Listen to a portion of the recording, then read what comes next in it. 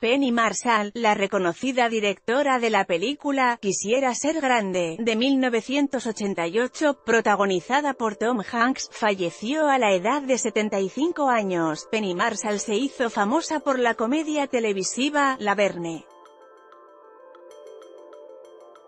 Foto, AP La publicista de Penny Marshall, Michelle Vega, comentó que la cineasta falleció en su hogar en Los Ángeles ayer lunes, debido a complicaciones con la diabetes que padecía, nuestra familia está desconsolada por el fallecimiento de Penny, afirmó la familia de Penny Marshall en un comunicado.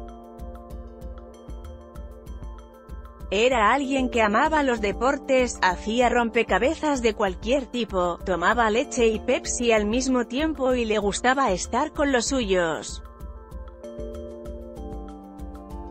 Penny Marshall actuó junto a Cindy Williams en la comedia exitosa de ABC, La Verne. Como directora, Penny Marshall se convirtió en la primera mujer en dirigir una película que recaudó más de 100 millones con «Quisiera ser grande».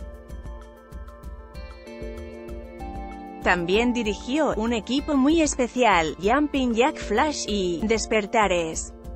En esta nota,